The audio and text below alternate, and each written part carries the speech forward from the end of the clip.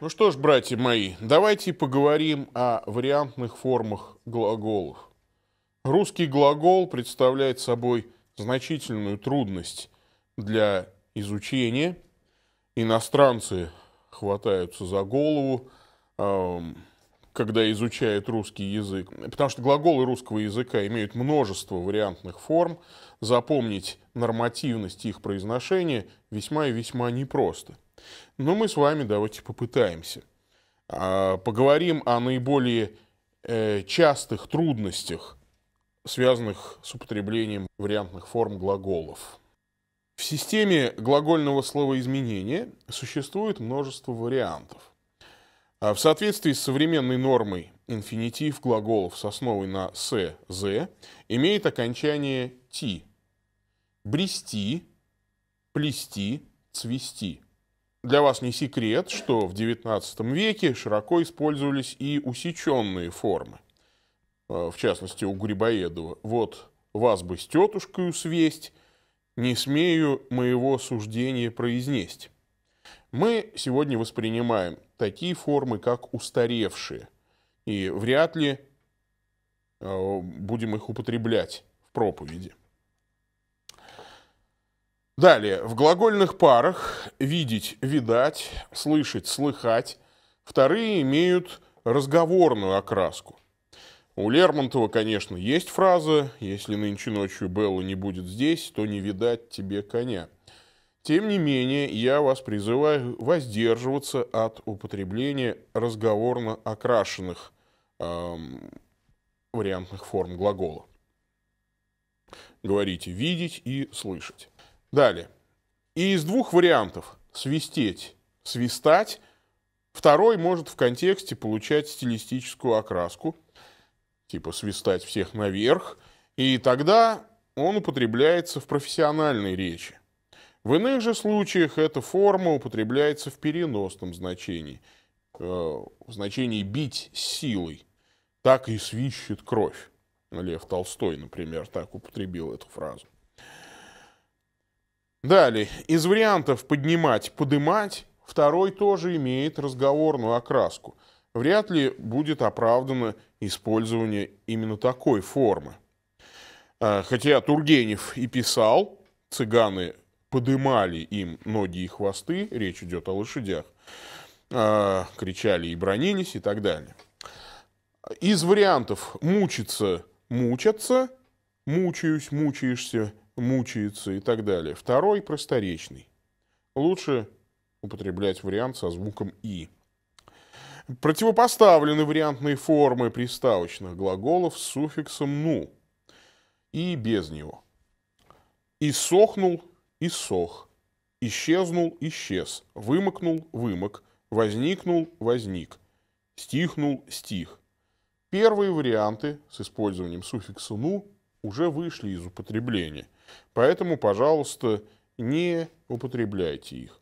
То же самое касается причастий с этим же суффиксом. А, суффикс «ну» выпал из а, причастий. В причастиях от глаголов с приставками, как правило, суффикс отсутствует. Промерзший, а не промерзнувший, оглохший, а не оглохнувший, размякший, а не размякнувший, привыкший, а не привыкнувший. Далее. Явление монологии объясняется возникновением множества вариантов личных форм глаголов в изъявительном наклонении настоящего будущего времени. У ряда глаголов типа брызгать, двигаться, капать, мурлыкать, полоскать, всего таких глаголов около 40, а, у них вариантные формы образуются следующим образом. Брызжет или брызгает, движется или двигается, каплет или капает, мурлычет или мурлыкает, полощет или полоскает. В их числе, а, пожалуй, следует выделить две группы глаголов. Какое же нам решение принять? Какой вариант будет нормативным? Пожалуй, эти глаголы, как я уже сказал, следует разделить на две группы.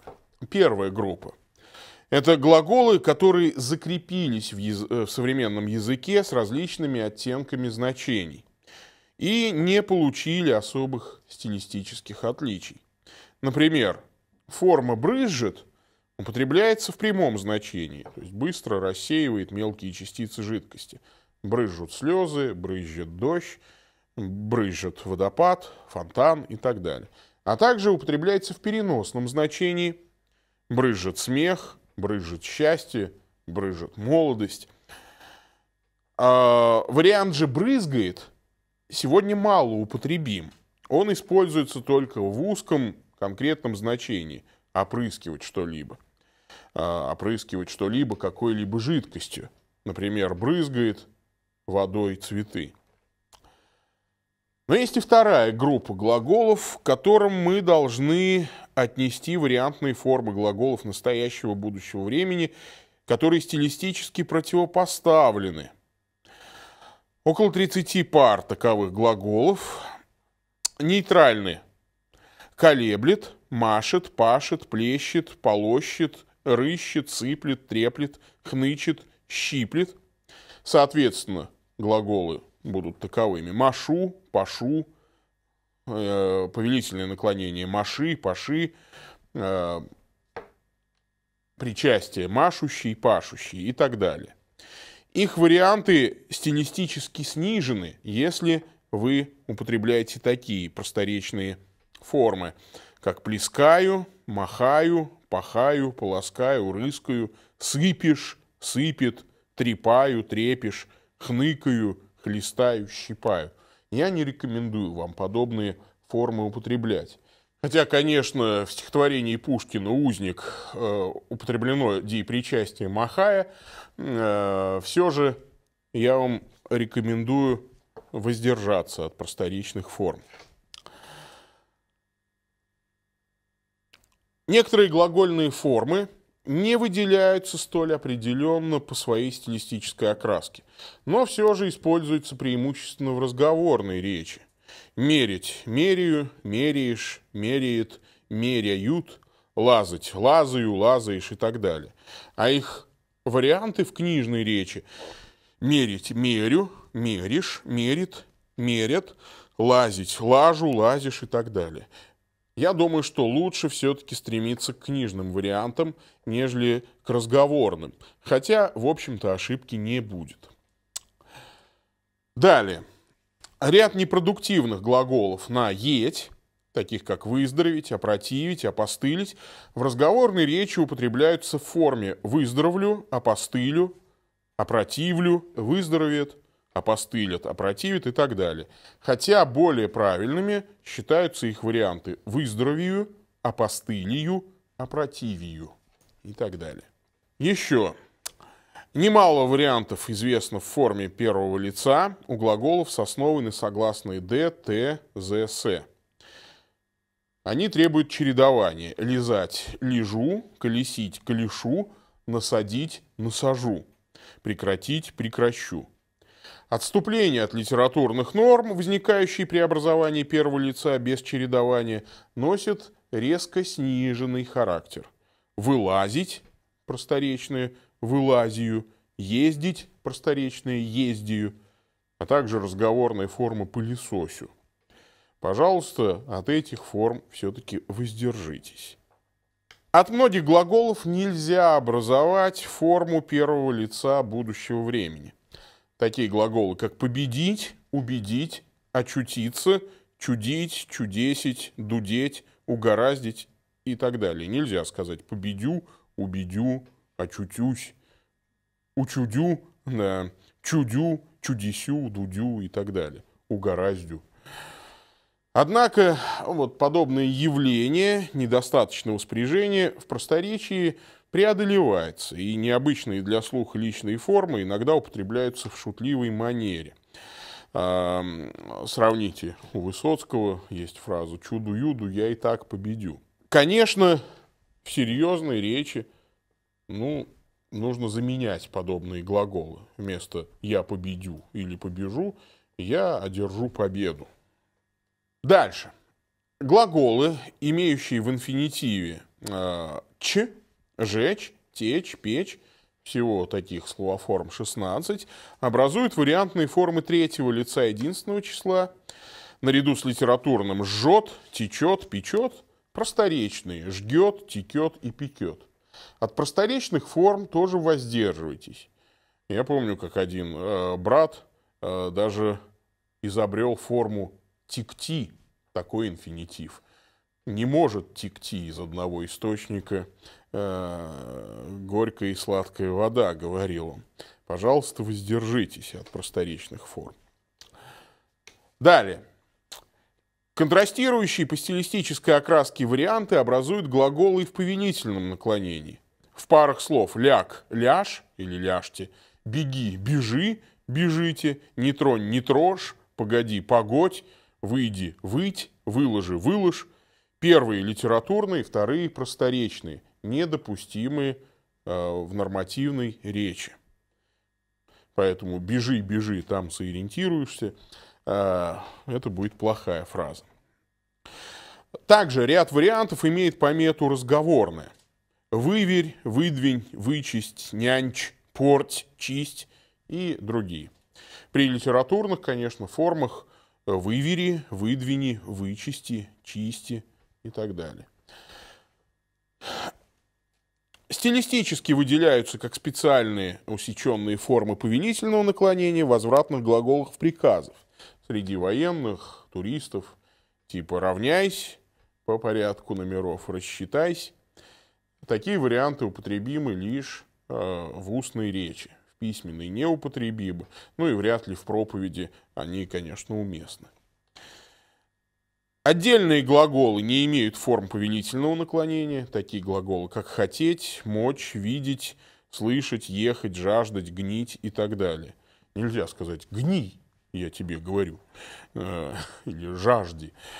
А, в XIX веке, конечно, употреблялись еще старославянские формы «вишть», «внемли», но они архаизовались, конечно. Просторечные варианты «не моги» или «ехай» остаются за пределами литературной нормы, братья мои. Форма «езжай» носит разговорный характер, а литературная форма «поезжай», а также формы, образованные от глаголов «слушать» или смотреть, слушай, слушайте, смотри, смотрите. Но не вижте, конечно. Далее. Источником вариативности глагольного формообразования являются и видовые пары типа обусловить, обусловливать и обуславливать. Вообще таких глаголов свыше 20. Некоторые из них, как и приведенные выше, стилистически равноценны, поэтому не выделяются пометами в словарях Э, дающих оба варианта. Варьируются глаголы с суффиксами «изирова» и «зова». Стандартизировать, стандартизовать. Колонизировать, колонизовать. Соотношение их в русском языке исторически менялось. У ряда глаголов с суффиксами «изирова» архаизовались и теперь используются только более короткие локализовать, мобилизовать, материализовать, нормализовать, парализовать и так далее. У иных же варианты с суффиксом «изова» устарели. Канонизовать, конкретизовать мы уже так не говорим. Говорим канонизировать и конкретизировать. С суффиксом «и», «изирова» закрепились глаголы «иронизировать», «симпатизировать», «гипнотизировать» и другие. С этим, пожалуйста, будьте внимательны. Иностранцы любят придумывать новые глаголы. Кстати, один мой знакомый иностранец придумал совершенно шикарные русские глаголы экономицировать и дублицировать. А, однако таких форм, к сожалению, все же не существует. Далее. Ряд глаголов, имеющих особенности в словообразовании, образуют синонимические пары, отличные в стилистическом отношении. Так глаголы типа «зеленеет» или «зеленеется» в значении «выделяться своим зеленым цветом» отличаются разговорным оттенком второго вида. И ель сквозь иней зеленеет, и речка подо льдом блестит, Пушкин писал. С другой стороны, поэт Михаил Кольцов, под большим шатром голубых небес вижу даль степей зеленеется. Однако, при том, что обе формы имеют примерно одинаковое право на существование, форма зеленеется считается менее желательной. И уж совсем невозможно употреблять пары типа «играет» и «играется».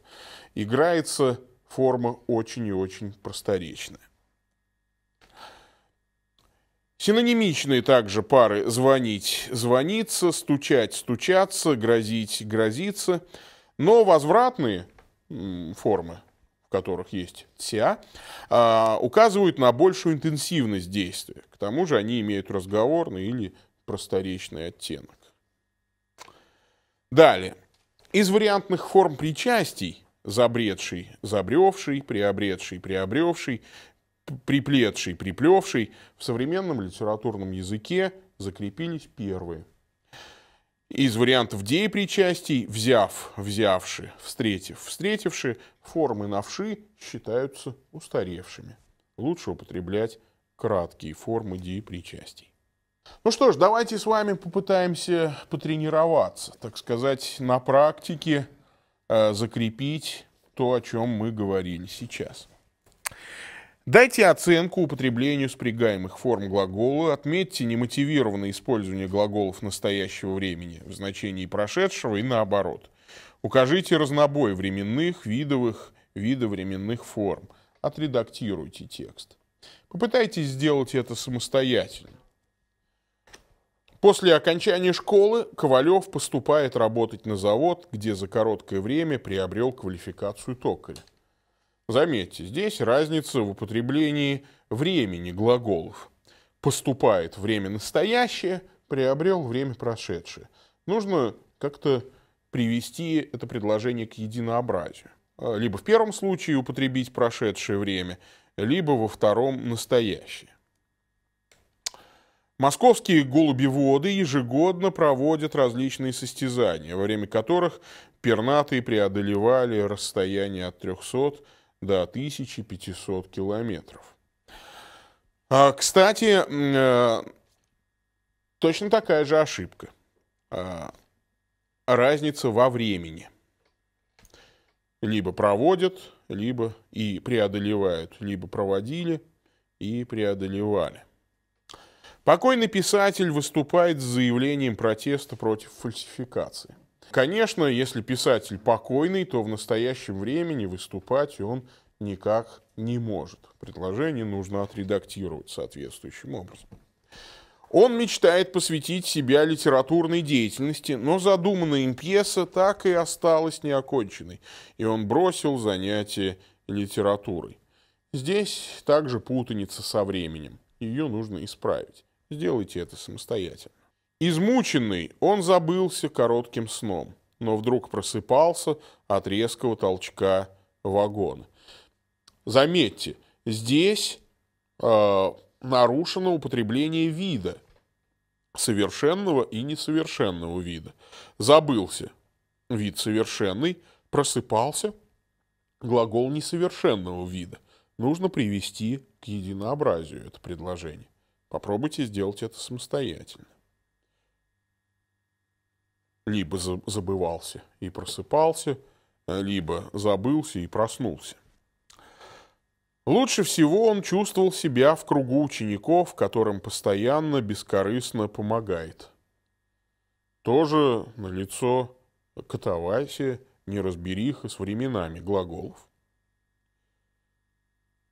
Чувствовал Кроме того, глагол несовершенного вида и глагол помогает несовершенного вида.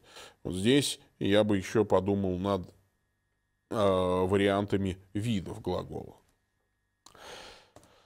Другое задание. Проанализируйте употребление глаголов. Укажите смешение субъектно-объектных отношений и возникающие при этом неясность, двусмысленность высказывания в результате неправильного использования возвратных глаголов.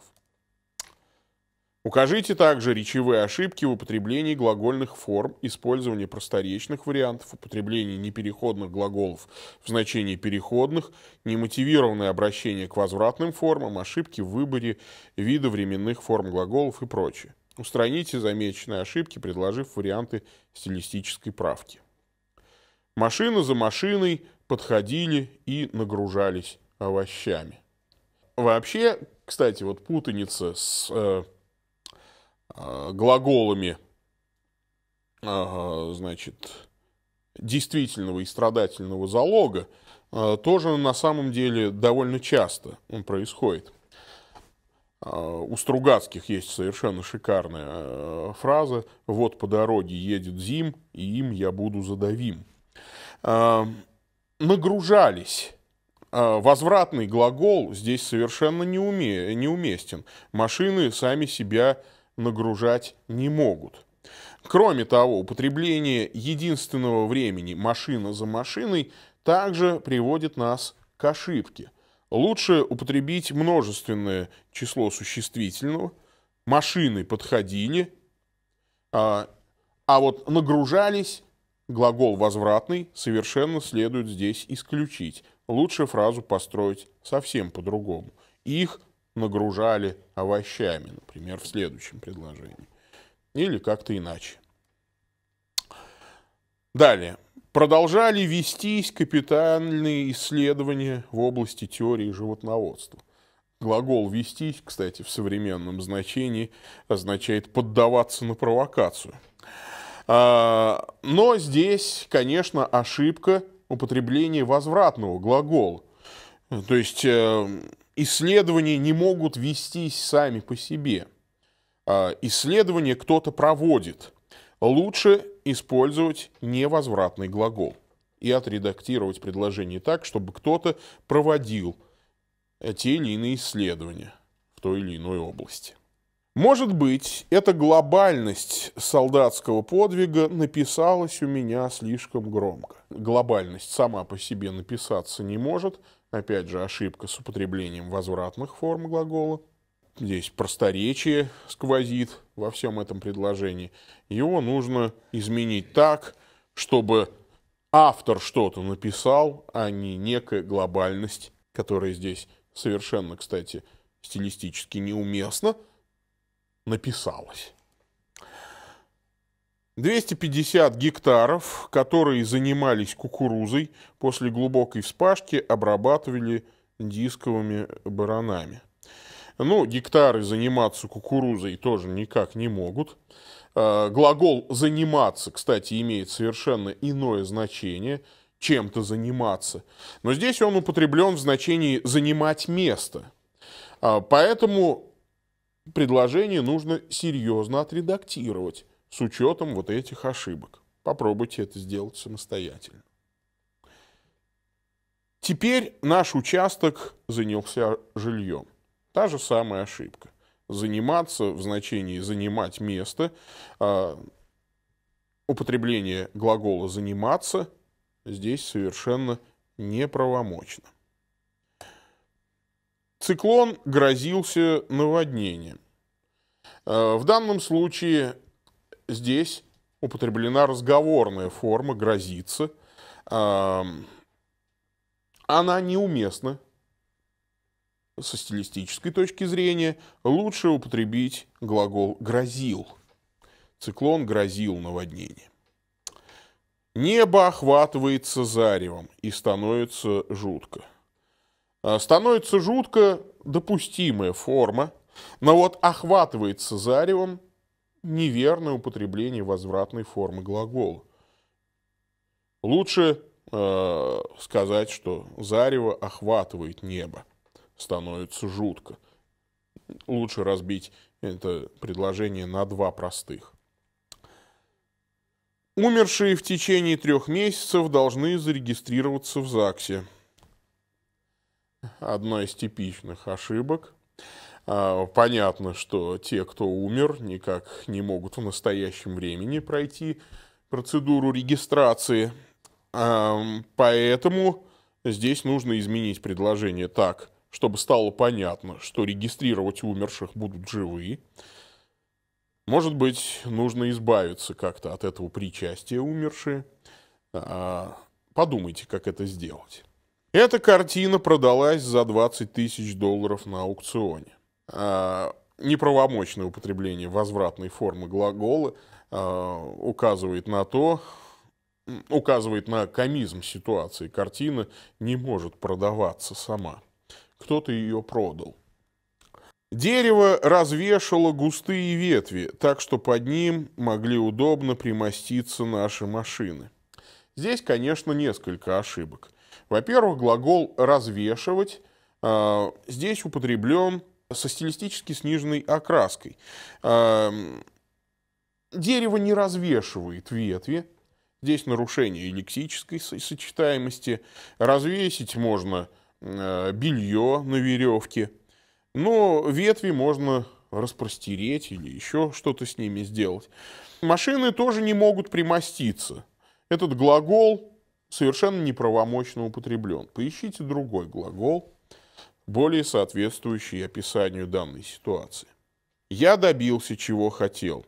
Пусть другие подерзят. Кстати, здесь э, неправильно употреблен пароним. Дерзать и дерзить. Дерзить – это значит вести себя неподобающим образом, вести себя дерзко. Дерзать – значит не бояться чего-то нового. Пожалуйста, отредактируйте это предложение с учетом этих замечаний. Ну и, наконец, двенадцатое предложение. Спектакль давался на сцене 18 лет подряд. За это время старились актеры и зрители, но мне кажется, настроение в зале не изменилось заметьте, старились, глагол э, несовершенного вида, его нужно заменить на глагол совершенного вида, состарились. Ну и, конечно, спектакль даваться не может. Ошибка, связанная с употреблением возвратного глагола.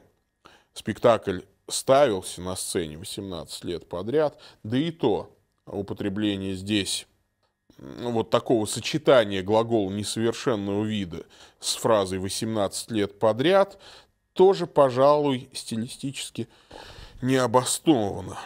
А, он же не ставился 18 лет подряд. Спектакль э, был поставлен, ну, какой-то один момент времени. А, нужно употребить глагол совершенного вида. А вот шел на сцене, это совершенно другое дело. Нужно отредактировать предложение с учетом этих замечаний. Еще несколько э, заданий на использование вариантных форм глаголов. Попытайтесь исправить ошибки в образовании и употреблении глаголов причастий, причастий. Особое внимание обратите на использование форм времени, вида и наклонения. Ошибки с причастными оборотами, кстати, весьма и весьма популярны. Вспомните э, чеховскую пародийную фразу «Проезжая мимо станции и глядя в окно, с меня слетела шляпа». Столыпин значительно расширил учебную программу в Уральском войсковом училище. Обучаемые слушали лекции по истории, осваивали военное дело, а после окончания училища производились в Харунжии – Дети же рядовых казаков, окончив училище, большей частью поступали в атаманскую канцелярию, где производились в урядники. Здесь целый букет ошибок. А, обучаемые, это неправильно образованное причастие, лучше его а, заменить учащимися осваивали военное де дело, производились в Харунже, а также производились в уряднике. Неправильное употребление глагола нужно исправить. Ну, посмотрите, здесь еще есть несколько ошибок, вы их можете заметить самостоятельно. Далее, выйдя из Кронштадта и высадя первый десант у берегов полуострова Марий, первая эскадра адмирала Спиридонова совместно с восстающими греками овладела городами Э, Мизитра и Аркадия. Восстающие греки. Здесь требуется причастие совершенного вида. Ну и, конечно, высаде здесь причастие совершенно неверное. Употреблено, должна быть употреблена форма высадив. Подумайте, как еще улучшить это предложение, как еще отредактировать его. При неосторожном обращении с огнем, находясь в нетрезвом состоянии, произошел пожар. А в данном предложении получается, что пожар находился в нетрезвом состоянии. Здесь нужно отредактировать употребление дипричастного оборота. Подумайте, как это лучше сделать. Явно не пожар находился в нетрезвом состоянии, а кто-то иной. видимо, какая-то личность. Надо не только извещать об успешной работе бригады, но и вскрыть секреты этих достижений. Вскрыть секреты, здесь нарушение лексической сочетаемости. А, ну и уж если а, вы употребляли доселе глаголы несовершенного вида, то и сейчас нужно продолжить это употребление, вскрывать. А, вскрывать какие-то недостатки можно, а, ну а секреты, как правило, открывают или постигают секреты достижений. Рассказать, как они организовывают свой труд. Я думаю, что здесь уместнее употребить глагол прошедшего времени. Подумайте, как еще исправить это предложение, как лучше его отредактировать. Я даю лишь вам какие-то намеки. Лица, попытающиеся ночью пройти к причалу, встретятся с фактом негорения фонарей на пути всего следования к причалу. Фраза полностью э, набита канцеляризмами, мы о них, кстати, будем еще говорить. Здесь лучше избавиться от канцелярских глаголов, э, исправить употребление причастия, попытающиеся и так далее отредактируйте это предложение. А муж Полины – это фигура почти неосязаемая. Совершенно дикое э, употребление причастия. Где он работает? Мы видим его постоянно нянчающим детей, хлопочущим по дому. А причастия здесь употреблены просторечной форме. Это нужно отредактировать. Особенно обратите внимание на причастие нянчающий. Специалисты единодушно отметили положительные сдвиги в этом прежде отстающем виде спорта. Отстающим вид спорта не может быть, отстающими могут быть только некие люди. Пожалуйста, посмотрите внимательно, как употребить те или иные виды глаголов. Отдельные предприятия, в прошлом пользующиеся большой популярностью, в настоящее время ухудшили работу и причастие пользующиеся, и э, глагол ухудшили нуждаются в редакторской правке. Подумайте, как это сделать лучшим образом. Монтаж турбины был выполнен на месяц раньше намеченным планом сроков. Подумайте, как отредактировать это предложение. Намечаемых здесь причастие употреблено в неправильном виде. Исправьте эту форму. Итак, братья мои, мы довольно много говорили о глаголах. Пожалуйста, будьте внимательны во всем, что касается использования их вариантных форм.